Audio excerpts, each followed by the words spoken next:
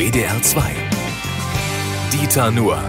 Hallo, ich bin's nur. Und wissen Sie, was mich immer wieder überrascht? Dass alle immer überrascht sind. Ich meine, wie kann man jetzt überrascht sein, dass die Taliban Afghanistan erobern? Die Taliban waren weg wegen der ausländischen Soldaten und dann sind die ausländischen Soldaten gegangen und haben die Taliban gewusst, ah, jetzt sind wir wieder dran. Wie kann das einen Menschen überraschen, der halbwegs wach im Kopf ist?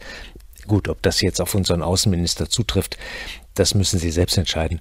Aber die Taliban sind nicht mal auf Gegenwehr gestoßen. Wahrscheinlich hat das unsere Experten deshalb so überrascht, weil es bisher immer so war in Afghanistan. Sobald die Ausländer weg waren, kamen die Islamisten. Und wenn was immer so war, dann sind Experten natürlich überrascht, dass es beim nächsten Mal wieder genauso sein wird.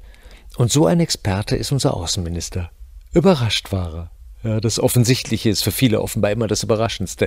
In zehn Jahren wird die Regierung wahrscheinlich überrascht sein, dass es mit der Verstromung des Verkehrs nicht geklappt hat. Dabei kann sich doch jeder heute schon ausrechnen, dass wir es weder schaffen werden, den dafür nötigen sauberen Strom zu erzeugen, noch die Batterien und die Autos. Wir wissen nämlich schon heute, dass wir in Zukunft zehnmal so viel Strom brauchen werden, werden aber trotzdem überrascht sein, dass wir ihn nicht haben werden, weil wir alles abgeschaltet haben, was verlässlich und kontinuierlich Strom erzeugt.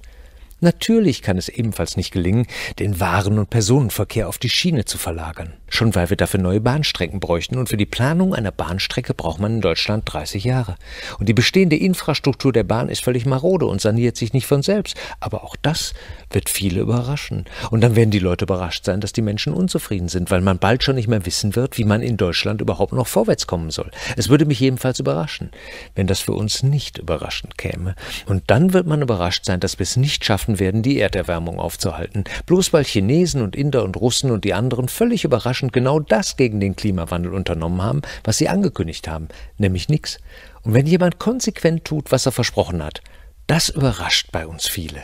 Wir sind das Volk der Überraschten, und sollte sie das jetzt überraschen, fände ich das ehrlich gesagt wenig überraschend. Dieter Nuhr. Auch zum Nachhören auf wdr2.de.